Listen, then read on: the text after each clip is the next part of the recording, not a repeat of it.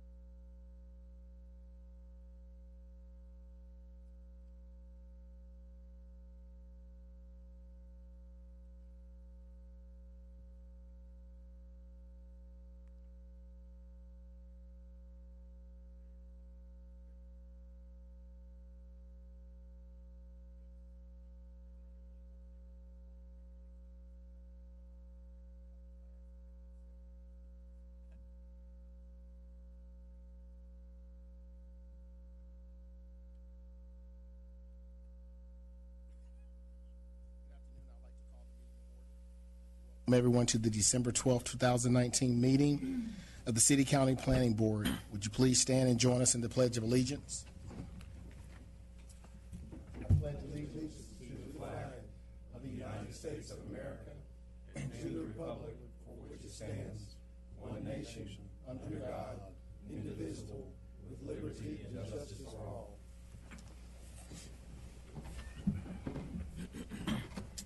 Thank you. Our first order of business today will be the consent agenda. These are items for which the petitioner is requesting withdrawal or continuance, or items for which staff has recommended approval and no one has signed up to speak in opposition. For all public hearings, each side will have a total of 12 minutes. There will be no rebuttal period. Once the public hearing is closed and the board goes into work session, no one is permitted to speak unless the planning board member asks them a question. For general use district zoning requests, the planning board must consider the full range of uses allowed in the zoning district being requested. The petitioner may not refer to a specific use for the property. For special use district zoning requests, however, the petitioner must identify the intended use or uses of the site and give specific details on how the site will be developed. Items under section B of the agenda will require final action by the appropriate elected body, either the city council or county commissioners. As such, votes taken by the planning board concerning these items are recommendations that will be considered by the elected bodies during their review of the request. Before addressing the planning board today, we will need your name, address, and zip code for the record. The first item of business is the approval of the minutes of the November 14th meeting. Are there any additions or corrections? Is there a motion? Move approval. Second. All those in favor, sign. All those opposed, same sign. Thank you so much. That's unanimous. Mr. Corley, I now call on you to review the consent agenda. Thank you, Mr. Chairman. We had some people sign up in opposition for item B1, so the consent agenda is just item C1 um, today, which is a planning board review for a cemetery in the AG zoning district. It is a really, really small piece of land, as you can see from this uh, picture on the slide, on the east side of Sullivan Town Road, north of Tyner Road, out in the unincorporated county. Um, and this is just uh, uh, showing you a picture of the site plan. Um, this little circle right here is the inset here, which shows you the proposed cemetery. It's three burial plots with an access easement off of Saddlebred Lane, which is itself an easement. Um, this plan meets all requirements of the UDO. Staff recommends approval, and I'll be happy to answer any questions. Any questions for Mr. Corley? All right, thank you. No one has signed up. Uh, is anyone here opposed to this recommendation?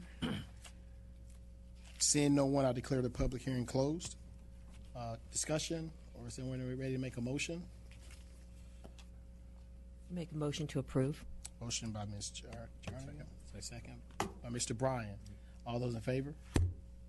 Pose the same sign. We have one to recuse himself. All right.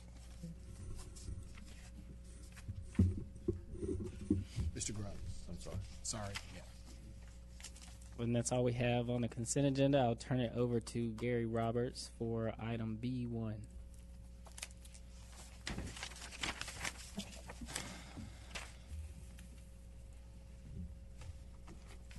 Okay, Mr. Chairman, members of the board, um, this case is zoning docket 3425, and this is a petition for rezoning uh, by the property owners Redeemer Presbyterian Church. And the site is 1.12 acres in size, located on the west side of Miller Street, south of South Hawthorne Road, and it's also just east of Melrose. Uh, the request is a special use rezoning to rezone the property from RS9 to IPS institutional public. Uh, this is Legacy's growth management plan. It's located within the pink urban neighborhoods. And this is a zoning map showing the subject property there highlighted in yellow. Uh, the diagonal street above this site there again is South Hawthorne Street. Um, you have the footprint of the main church area here in Sanctuary. This is a former public school uh, located on the west side of Miller Street. Uh, that is zoned institutional public. Um, right here is a property. This was a single family home that was rezoned as part of the church expansion in 2013. Uh, and that included one access point right here on the Miller Street and some parking in the back. So this is adjacent to that. Uh, the property zone, as I said, RS9, single family residential, as is are the homes to the north and to the east across Miller Street. The property is also located in the um, Ardmore National Historic District. And just a clarification on that, that uh, national historic districts compliance with the standards are voluntary. It's not like a local historic district. So as far as demolition of properties, which they're not proposing any demolition, but demolition of homes and accessory buildings within national district can occur at any time. Uh, but they are showing to retain these, these th- three structures. Uh, this is an aerial photograph showing the subject property and the devel- development pattern. Uh, and these images are taken on site. This is looking at the existing church there from Miller Street. You see right here to the right, uh, this is the existing driveway. It will be widened slightly. It will remain a one-way access point that will eventually connect on to their parking lot that fronts on Melrose Street. Uh, and that's a little bit of a close-up there of that driveway. Uh, this tree, as shown on the 2013 plan and the current plan, would remain in place. Uh, this is the house here on the right that is zoned um, institutional now. That's also contributing structure within the National Historic District. Um, and so these two homes here are the subject property that they're adding into the district for IPS. That's 1040 and 1036 uh, South Miller Street. Uh, and this is looking um, north on Miller Street as well. Yes, subject properties to the left have Hawthorne in the back back avenue there. So we were out on sign check. We, we did notice there's some traffic out there, uh, certainly at certain times of the day. Um, but actually, they're not adding capacity to the church, but they are adding some capacity in regard to parking uh, and primarily circulation. We feel like that this request may actually improve some circulation between Miller and Melrose. Um, so this is looking across Miller Street at the single family homes. And over on Melrose Street, this is looking into the site. Uh, so this is already zoned IP. The church there is to the right. Uh, you can see a little bit of uh, the barn. That's actually a contributing structure within the district. That's to remain. Right about in this area here is where the new parking will take place and connect in with the existing parking lot. So over in here is actual subject property. This is a directional rezoning sign. Um, this is the area plan, Southwest uh, Winston-Salem area plan. Uh, you can see the different land uses shown in color designations. Yellow would be single-family residential. Uh, green would be recreational, and uh, blue is institutional. So we have a mixture of uh, blue and green for the main campus, and the subject property is shown for yellow. Uh, just a general note about institutional land uses in regard to our area plans. It's very hard to show in each area where a church or school may or may not expand. Generally, area plans uh, mention that institutional expansion is something that's okay if it's done in a manner that's compatible with a specific site surroundings. And this is a site plan, a little bit different orientation from the zoning map. So you have Miller Street down here on the south, uh, the existing church here, uh, existing driveway that you saw pictures of earlier, and the proposed nine parking spaces lo- here, located here, kind of shaded, uh, shaded there in light gray, and then, then the one-way connection that goes over to the parking lot that fronts on Melrose Street. Um, so the existing institutional house here, IPS, and then this is the subject property here these two homes. Uh, they would have to dedicate some additional right-of-way on Miller Street. Uh, they're showing no real expansion of a parking area behind these two homes. And then you have the third lot here that actually goes all the way over to uh, Hawthorne Street. And you see this dark line here, that's the proposed zoning line. Uh, This is also owned by the church, but that's not within the rezoning request. That would remain zoned single-family residential, uh, the home that fronts on Hawthorne. Uh, So then you have open area here, and again, about nine spaces that kind of straddle this proposed, proposed zoning line. So uh, looking at the site plan and considering the area plan recommendations and the character of the neighborhood, uh, staff feels like it's a reasonable expansion of this institutional use. Uh, no new institutional driveways on either street, and actually some connectivity that may improve circulation uh, in the area. Uh, some special conditions we have uh, number one, if the petitioner sells the remainder of that pin that I won't go mention that number, but that's 925 South Hawthorne that fronts on Hawthorne Road. Uh, that if that is ever um, sold, that any remaining property, excuse me, that the buffer yard would then be ins- installed at that point. Uh, because they own that property all the way through there, uh, they did not feel like there was a need to have a buffer yard. Staff was concurrence with that, and uh, so. But if they did ever sell that, they would have to install the, the buffer yard plantings, the evergreens in particular. Also, they've agreed to no electronic message board signs; those are allowed in the IP district. Uh, we did not feel that would be consistent with the residential character there of this setting. Uh, and they've also agreed to a condition that is not uh, in your book, uh, and that's um, the zoning designation for the properties identified, and those are those two properties that I mentioned on Miller Street, um, shall revert back to RS9 if those properties are ever sold. Um, there was a condition on the other adjacent IPS that uh, if um, that property was ever sold, the parking lot in the back area there would be removed. Uh, so this is similar but a little bit different. This basically just states that the zoning would go back to residential if the church ever sells those properties. Uh, again, summary, uh, it would maintain the pedestrian-friendly character along Miller Street by keeping those two homes. Uh, one of those is a contributing structure within, within the Ardmore National District. It would facilitate improved vehicular circulation between Miller and Melrose Street, and it would provide for an appropriate transition between residential and non-residential uses.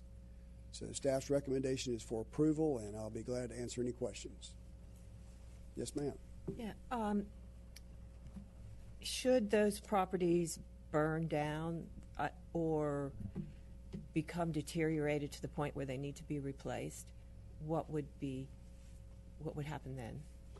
Well, we have uh, the footprint of the structures now shown on the site plan, and if that un, un, unforeseen act was to happen, I think we would be looking for a structure that would go back that was very, very similar in character to what you see there now.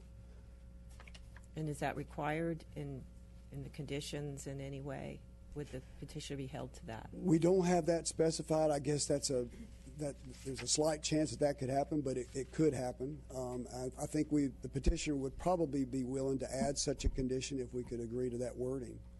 I I think the site plan does a, a, a good deal of tying them to that because the site plan does label those structures existing house to remain. So if those structures, those two homes did burn down for some reason and somebody wanted to put a new structure back on the site, we would be looking for a house, as Gary said, that fits that. that Okay. So the site plan is what's tying those structures and any new structures to what's on here.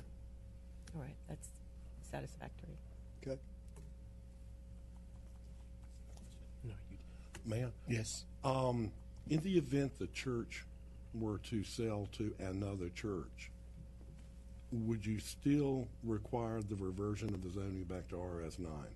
The way the, the wording is, if the property sells, it's, it's regardless of who actually would buy the property. And the rationalization being, I guess there's a comfort level, perhaps presumed with the current property owner, and um, with a new petitioner, new- a new property owner, maybe that, that comfort level would not be there. So it's just a level of protection that they have volunteered, and staff is agreeable to that.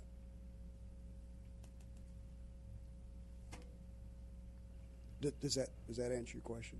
Uh, yes. Any other questions for staff? All right, thank you. So it looks like no one has signed up to speak in favor, so we do have opposition in this case.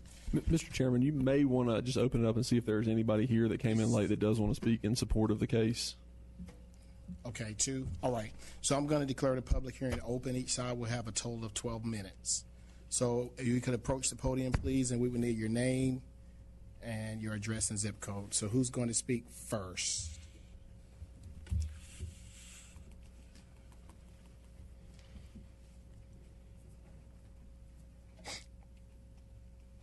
Good morning, or good afternoon. Good afternoon. My name is Rob Alexander. I'm an elder at Redeemer Presbyterian Church, and I live at 2253 Westover Drive, just two blocks from the church uh, in the Ardmore neighborhood. And, uh, you know, I have Your seen. zip code, I'm sorry. What's that? Zip code. 27103. Thank you. Yeah. And I live, um, as a member of the neighborhood, I live in this area, and I actually used to work for the church as well up until this past year. This uh, parking lot, actually, and you saw earlier with the traffic on Miller Street, it's, it's sometimes of the day almost impossible to get out of that parking lot. And we have a number of elderly um, folks in our congregation. Our congregation is getting older all the time. We also have a number of handicapped folks. Uh, and getting in and out of that parking lot, um, northbound especially, um, is very dangerous. It's dangerous for not only the folks in our church that actually use that lot, but also for guests. We actually have um, almost every night of the week guests that are using the church free of charge as members of the neighborhood and other nonprofits in the neighborhood. And a number of years ago, probably about 20 years ago, there was somebody killed in front of the church getting in and out of their car. So pulling uh, parking off the street and moving it into the parking lots as much as possible is very important to us from a safety and security standpoint.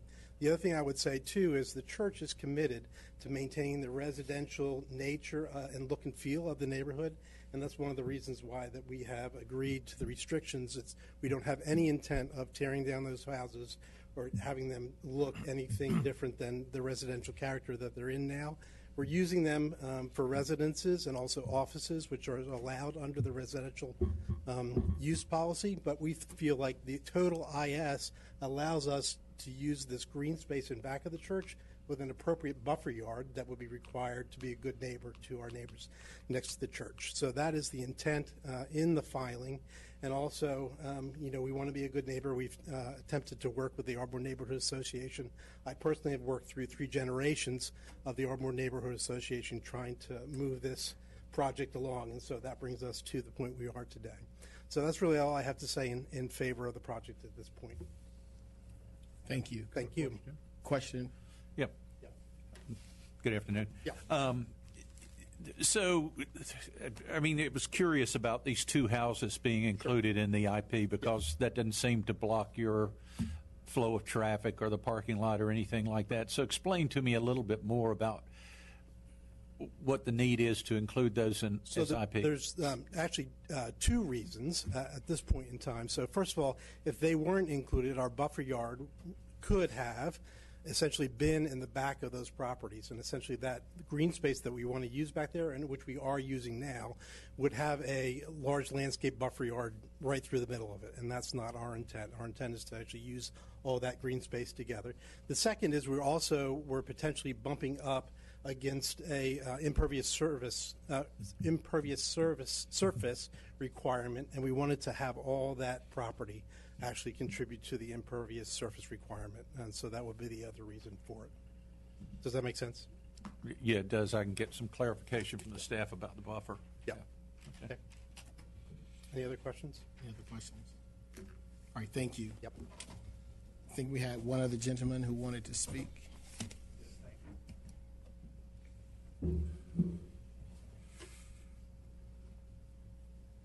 My name is Paul Fedish, and I'm with uh, MLA Design Group. We're the landscape architects on this project. And I'm up here uh, for two reasons. One, to hopefully answer any other questions that you gentlemen and ladies have. And also just to kind of reiterate uh, what Mr. Alexander has said. Uh, Going through the Excuse me, need your address and zip code for the Oh, I'm record. sorry. That's right. Address is 6514 Dornock Drive, Greensboro, North Carolina, 27410. Thank you. Okay, thank you. Uh, I was mentioning, uh, Mr. Alexander and the church have been very good to work with on this project. They are very agreeable to working with the neighborhood. From what I've seen, we don't have a whole lot of clients that work to this extent with the neighborhood. Uh, They are very in favor of keeping the character of the neighborhood, keeping the houses that are there. They understand that they are restricted to any further building on this property. They will keep what is shown on the site plan with the understanding that if there are any revisions in the future, they'd have to come through this entire process again, of course. Um, They have also volunteered uh, several of the conditions that you see on the plans. Uh, The buffer yard requirement between the uh, residential property that's remaining residential and the one that's being rezoned that they own. They're volunteering to put in a part of that buffer now. Uh, They'll go ahead and install the trees, yeah, with the understanding, of course, that they would have to complete that buffer yard. Church was agreeable to working with the adjacent neighbor on the type of plants that'll be going in between that person's property and the church's property. I know that they are agreeable to work with the neighbors on any drainage uh, discussions that come up as this goes through con- the construction documents. And I, I do know that they want to keep, the- retain the character of the church. So I'd be glad to answer any questions that you guys have. I know that they would like to have a consistent use on these properties. And as he mentioned, uh, we are looking at how much impervious surface is on the properties. And I know that if we got to a point where we were going to be required to have stormwater uh, quality or quantity controls, that we could remove driveway or remove s- some impervious surface someplace else to kind of compensate for that. So if anybody has any questions, I'd be glad to answer those. All right, thank you. Thank you. All right.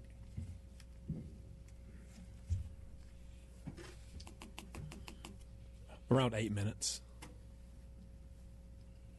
Good afternoon. My name is Roger Henderson. I'm at uh, 2680 Amesbury Road, Winston-Salem, 27103. Thank you. Uh, I'm a deacon at the church and also work there as their finance officer.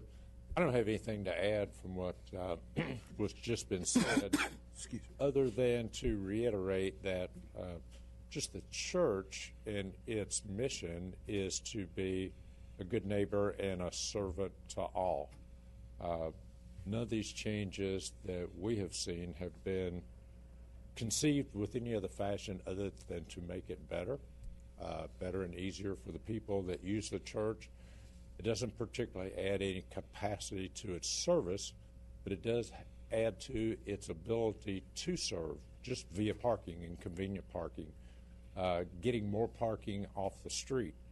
Uh, as uh, Mr. Miller just said, uh, there's a really good chance that two driveways on existing structures would be eliminated. Uh, and to do that, not only to add more green space, but to further uh, move the traffic through the Miller Street entrance.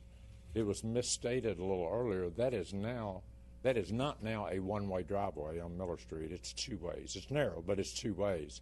We're contemplating making that one way off of Miller Street through the lot, and then any exit from that through the Melrose Street connection. Any questions? Thank you. Thank you. Anyone else would like to speak in favor? All right, we have two uh, who've signed up as opposition, Mr. Robert Newman and Mr. Darren Rhodes. So, Mr. Newman?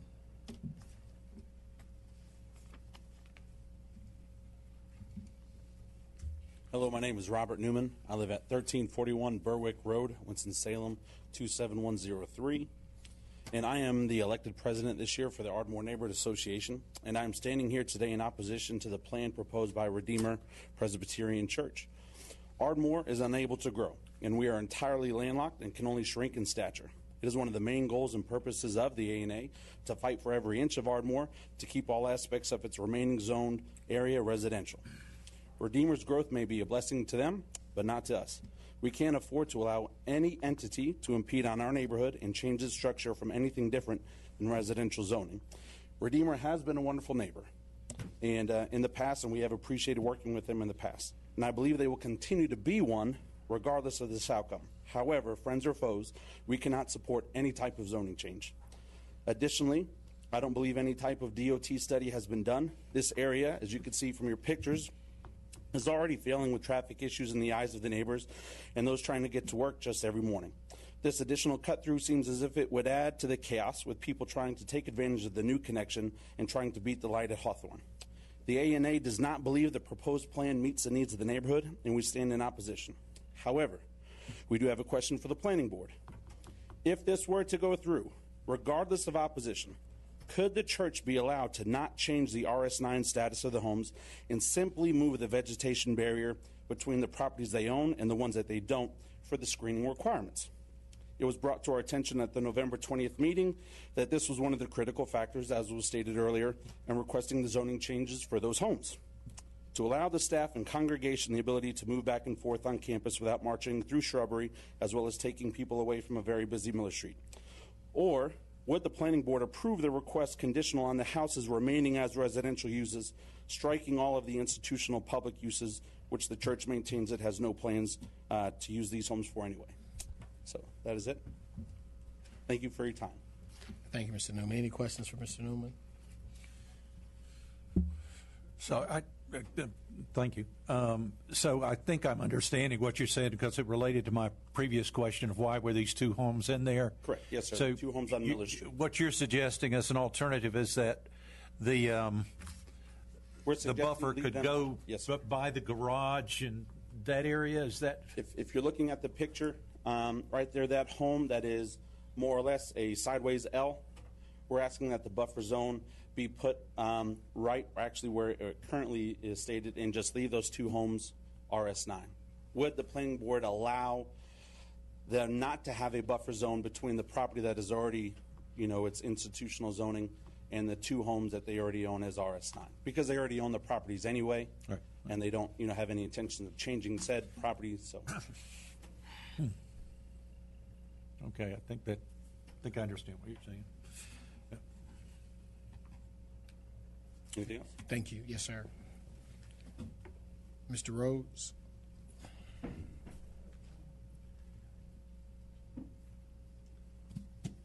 Hello, I'm Darren Rhodes. I live at uh, 1031 Miller Street, uh, zip code 27103, and that is adjacent or across the street from uh, the two residential structures in question. Uh, I've lived there for 20 years, and uh, while I by no means represent uh, the neighborhood, um, I, I would like to say, as a as a property owner, that the church has been a uh, a good neighbor during that time, and I feel that uh, their um, request is, uh, in most for most respects, compatible with the neighborhood. Um, I do have some concerns, though, and those have been kind of echoed by the neighborhood association, uh, related to the necessity of the institutional rezoning. Um, my main concern, though, is making sure that, uh, as much as possible, the residential structures uh, maintain their residential character. I understand that they're going to be used institutionally, but uh, for instance, the uh, driveways, if at all possible, would like to have the driveways retained because if those are removed uh, for uh, impervious surface um, requirements, um, it could change the character of the, uh, the residential properties. Um,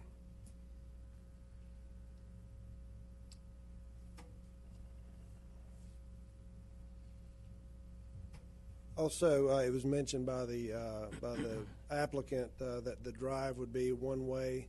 Um, I believe it's shown on the uh, on the site plan as being a one way drive. Um, I'm not sure if that would be required, but uh, that would be also you know something that would be a concern to make sure that it, it doesn't become a two way drive. Um, also, the uh, drive uh, not being used for there's also a school there, making sure that the drive's not be not to be used for uh, drop off for the school because that would cause, likely cause uh, traffic backup on an already busy street.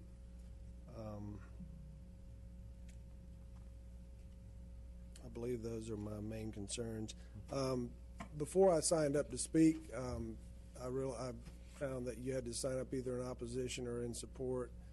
I'm not. I'm not adamantly opposed. Um, I'm not. I'm not a huge supporter either. I'd like for it to be like it was when I moved in there 20 years ago, but things change. For the most part, the park-like setting behind the houses is really nice. Uh, if that can be retained, and that's on the site plan as being retained in terms of the green space, the trees, I think that's a good thing for the neighborhood uh, because green space is a premium in, in Ardmore.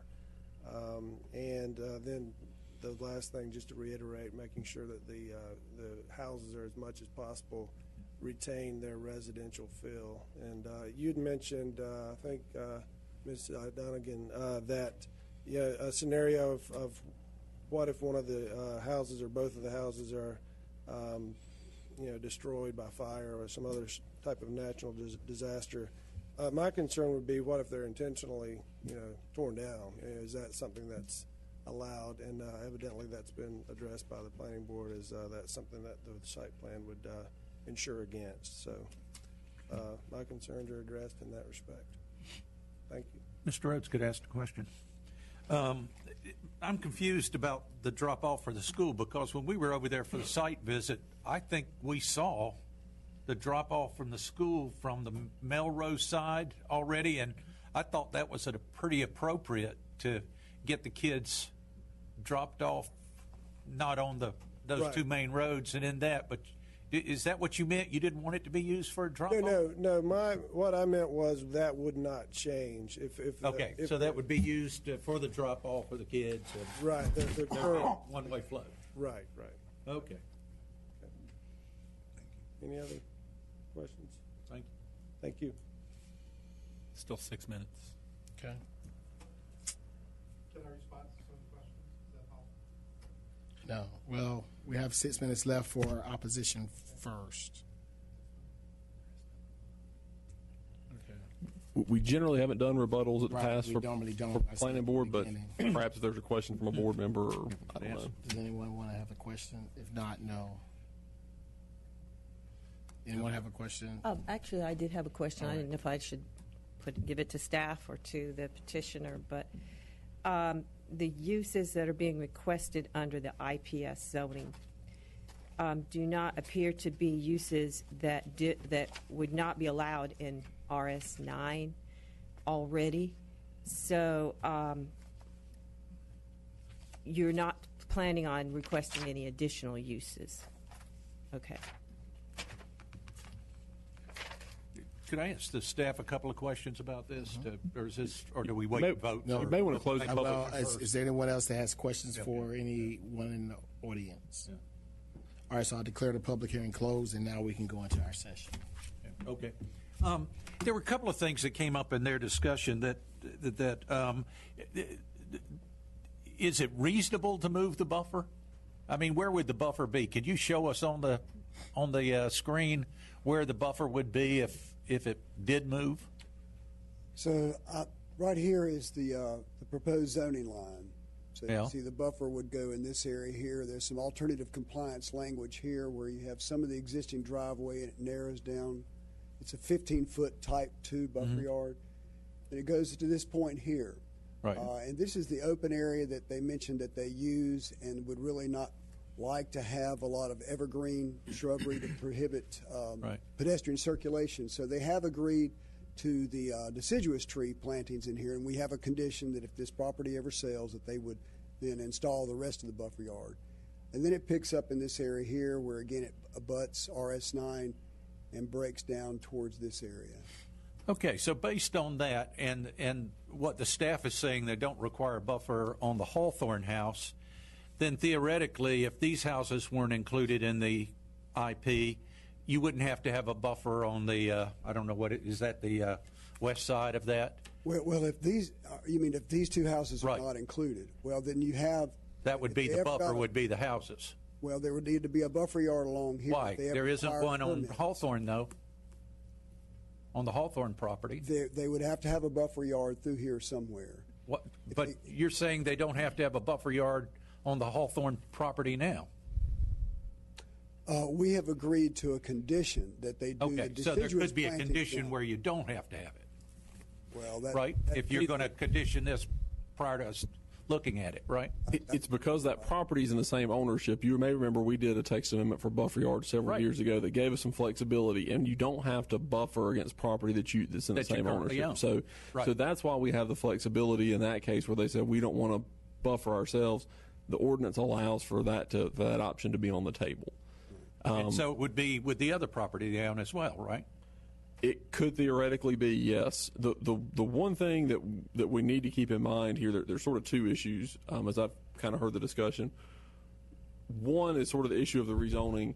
The, the new asphalt that's going in on that that property that's today or RS9, where that new park those new parking spaces are, you, you have to rezone that. If you're going to put that parking in, you either have to rezone it or get a special use permit from the city council. Those are the two options. So that area, mm-hmm. in order to do this, would have to be rezoned.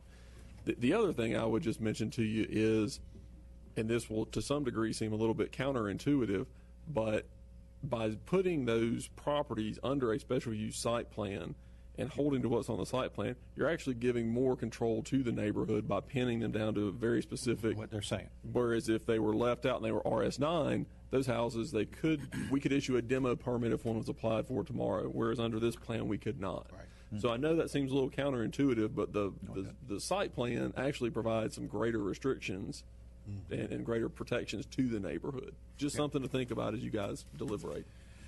My, my other line of questioning is I feel like over the years I've become quite an expert in what institutional uh, zoning means to a neighborhood. And if the staff could help me on some of the things, um, does this mean that dumpsters could be behind these houses?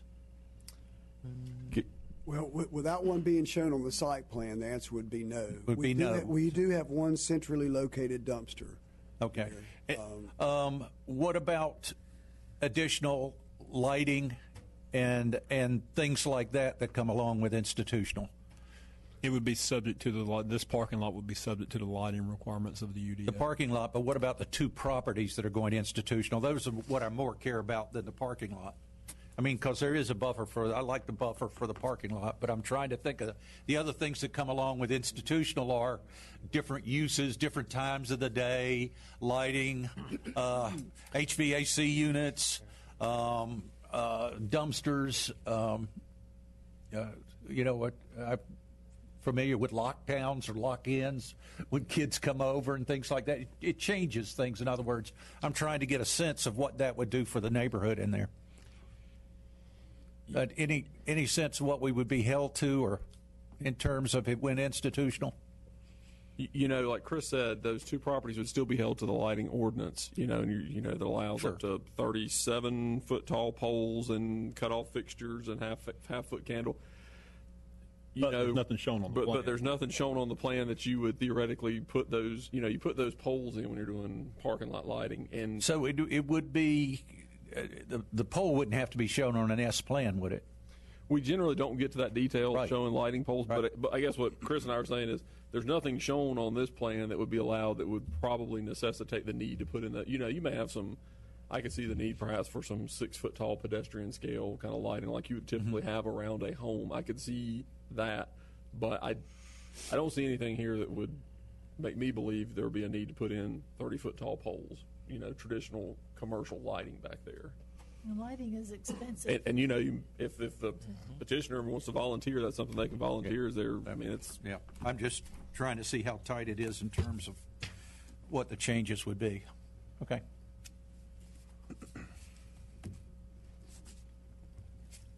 Any other questions or comments? Yeah, I'd like to make a couple Discussion. comments. All right. Um, I really don't, I, I, I can see the need for the driveway, the drive-through, and the use of the property containing the barn um, to be rezoned to IP so that that road can be put through to improve the circulation.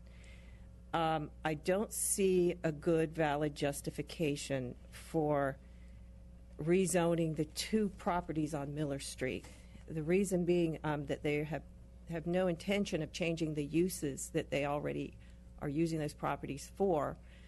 which are allowed in residential. So the neighborhood, I think, is justifiably concerned about a creep of institutional that would happen beyond what's already proposed here, kind of like a domino effect. Um, and I can see that happening, especially since the um, Hawthorne property, the Gobble House, um, is being split in its zoning under this proposal. And I think it makes that house much less viable as a residential property for that reason, uh, because it is going to have a very, very short um, back setback. There won't be much room, and, and for the back setback, if that's the boundary line where the IP zoning is. Um, and my big concern really is the impact this could have on the homes fronting on Hawthorne. Should um, this get agreed to, there is greater justification for rezoning that Gobble property to IP. Um, and then that splits that whole block. And um, I just see it as a threat, really, as a long term threat to the viability of, of single family on that stretch of Hawthorne, that block. Um, I also think that it would be easier, much easier for the petitioners. Right now, they, they're saying they want this land behind the two Miller homes as a buffer, in a sense, more green space. But it could just as easily be used as a parking area.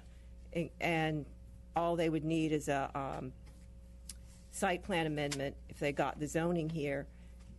And then they could put in a parking, a larger parking area here.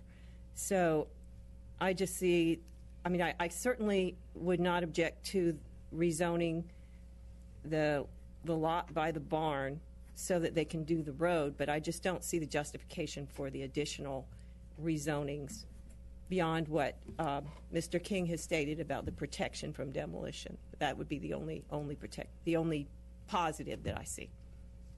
So I just really can't support this. Aaron, could you address that? Just the her part about the two houses being part of this, and just staff's thought, thoughts on that. Yeah, so I think as staff reviewed this, I think the reason we were supportive a lot is, is a lot of what Gary mentioned. You know, we want to make sure that that institutions are being um, sensitive to the neighborhoods they're in, and by protecting those homes, we saw that as a valuable piece of this request. Um, to put a, a, a regulatory um, instrument in place that guarantees uh, that prohibits those houses from being torn down. Um, we saw that as a good thing to preserve the character of the neighborhood. Um, y- you know, speaking, Melynda, to kind of what you were saying about those houses either being in or being out. It, it- so there's sort of two options. If, if if this request does go forward, and if it is approved by City Council, and, and some years down the road they want to put parking in there, you're correct. They would have to come back and file a site plan amendment.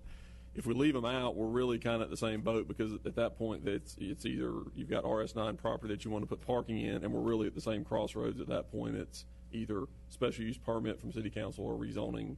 So I mean, we're kind of at the same crossroads in or out. So um, those were the things that staff kind of thought through: keeping the houses, not having electronic message board signs, and really trying to be sensitive to the surrounding areas. Those are the reasons that staff was able to support this request. Thank you. Any other thoughts? Is there a motion or further discussion?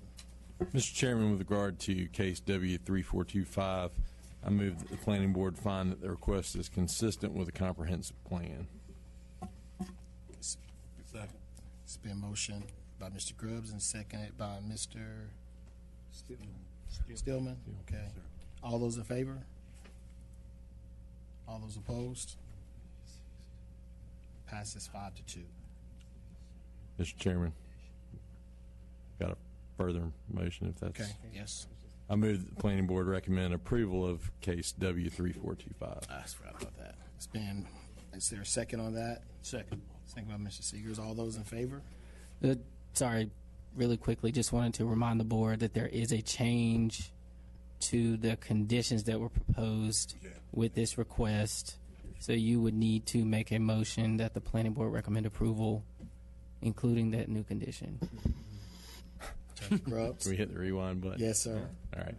Let me uh, let me back up and and say that uh, I move that the planning board find that the petitioner's request, with the additional condition added that the zoning designation for the properties identified by pins 6825-30-6400 being 1036 Miller Street and 6825-30-5497 being 1030 Miller Street shall revert to RS9 if those properties are sold at any time by the petitioner uh, is consistent with the comprehensive plan.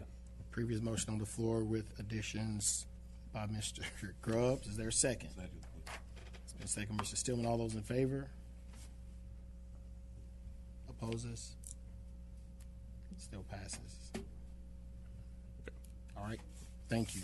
And Mr. Chairman, I also move that the planning board recommend approval with the added special condition, which I read into the record previously, uh, of case W three four two five. Thank you, Mr. Grubbs. Is there a second? Second. It's Mr. Steelman. All those in favor, sign of aye. Pose the same sign. Passes four to two. Five two. Johnny left. Johnny left. Yeah, but we still have seven. It would have been five in support and two Right. in opposition. Yeah. His vote should still count as a, Okay. yeah. All right. All right. All right. Thank you. Staff report. All right. Thank you, Mr. Chair. Um, you should have at your places a copy of our 2020 calendar of significant dates. And I just want to spend a couple minutes on this, really to recognize the work that Desmond has done on this. Um, we have basically had the same rezoning submittal process in place for about the past 20 years. That nothing has really changed from the time an applicant submits an application until the time they get before the planning board for the public hearing. What has changed in the past 20 years is the amount of information we review, collect, analyze, distribute. It has increased greatly. If you were to pull a zoning docket from 2000 and one from today, they would look drastically different. So as you can imagine, from a staff standpoint, we've got the same amount of time to do our work in and a substantial amount more of work. So um, the other real challenge with this process is we oftentimes write these staff reports in, in the dark. And what I mean by that is we have an interdepartmental review process where an applicant um, would come and get comments, and then there's a they have basically a week turnaround to submit those comments. We essentially, to get these books out in time to you, have to basically write our staff report before those revised plans come back in in anticipation of what may be on there. A very challenging task. And so um, I started kind of hinting around to Paul when I was in Desmond's position that we might want to think about sort of changing this a little bit. And so Desmond quickly learned and be in this position. He came to me and said, "Hey, can we think about doing something else with this?" And so I said, "Yeah, let's let's give it a shot." And so Desmond has put together um, this new calendar that we have before you, and essentially the long and short of it is it adds about a week to the the, the review process. And what that week does is it allows us to kind of separate out and add a little bit more breathing room in there to get this work done. It allows us to get the revised site plans back in and then complete the staff report, which is incredibly helpful. Um, this is kind of like a Rubik's cube. You know, you move one thing and something else shifts because we have to be respectful to the applicants to make sure we're not crunching them. We've got staff, we don't want to crunch them. We work with other departments, we don't want to crunch them. And so you move one thing, you hurt these folks. And so Desmond did a really great job of um, getting this calendar put together. We're going to try it out this year. I think it's going to be successful. It doesn't really have any impact on on sort of the neighborhood side of things because the, a lot of the dates that are important to neighborhoods really don't move in there. Um, the real impact on this is for the development community that, that submits and goes through this process. And so we did vet this with them and get some feedback, and they were they were supportive of the changes, even the additional week that we've got in there. And I think the reason for that is we were by far the fastest process to go through. And even with this week, we're still right there in the discussion. So um, it doesn't take us out of character with our triad uh, peer communities as far as the time frame to get through, but it does give staff a little more breathing room in there, and I think it actually gives the development community a little bit more breathing room in terms of getting through this process because I think even they were starting to feel the pinch of getting things through so quickly. So I just wanted to let you know we have a new calendar moving forward for 2020. That is a big accomplishment for our department. I just want to thank Desmond for his hard work on this because it was uh, many iterations to get to this point. So, um, I, I hit uh, Smith Reynolds earlier. Just want to say we had our second meeting. Um, Haynes Hosiery, probably about 50 folks there. Good discussion there. Um, we kind of focused on economic development and appearance and design issues. So, um, some good comments there. Next meeting will be January 16th. So, we're continuing to move forward on that. Um, I'll recognize Desmond for a little preview of our January public hearing meeting, which I hear will be kind of busy. Yes, um, just to kind of go back to the calendar of significant dates, one of the things that changed about the calendar does have an impact on this board. Um, instead of having one kind of event that's called sign check, where we go with the board and visit the sites and make sure that the signs have been posted, we now have a little more room in the process to separate you know, going out to visit the sites and answering questions from the board about the sites and actually checking to make sure that our, you know, legal obligations are met for posting signs. So we've got a um, site visits line, which is when staff will go out with the board to visit the sites and answer, and staff will answer questions from the board about the sites. And then sign check is just a staff only thing where we'll go out to make sure that the signs are posted. Um, site visits are with this new calendar are always going to be the Monday after this meeting, the Monday after the public hearing meeting. And so um, if you've been scheduling sign check in the past on your calendars, this is the new thing to look for um, as far as going out and, and visiting the sites. And again, it's always going to be the Monday after this meeting, unless there's a holiday. Jack, did he say a larger van in there? Did you larger hear that? fan, more donuts. Um, m- most importantly, I think more time for for a board oriented questioning and thought as compared to um, to looking for signs, which I greatly appreciate. Thank y'all for that. More donuts. And this calendar is very helpful. Yes. Thank you. It's very helpful. All right. So, with that out of the way, we have five zoning requests for January. Um, people people were not phased by the new calendar. Um, we've got five zoning requests for the city and the county, and one in Walkertown, and then there's one preliminary subdivision approval for next month. So six items for this board in January. And to piggyback on that, your January work session will be pretty busy as well. So um, get ready for a busy 2020 starting off that way. We got a lot of stuff to bring to you, including um, a little discussion at your work session about the transition to iPads. Thank so you. we'll be having myself and hopefully Tom Koreska, who's our IS director, um, present kind of our, our plan for um, implementation at your January work session. So we're moving along on that. We hope to have some good news to bring to you there. Um, that's all I've got, other than to say thanks and happy holidays to everybody. And if I could back up half a second, I'd like the board to know that there's a large group of people that get together quarterly. That's called the Quarterly Development Forum. I was amazed at the level of favorable response that came in from them to the change in this schedule. Um, it's like herding butterflies, and they all seem to be together on this. Thank you again for that. That's good. Thank you. Or is there anything that's good for the order? If not, We'll have a motion to adjourn, and everyone have a nice holiday, wonderful holiday. Here, Thank you. here. Uh, no, no.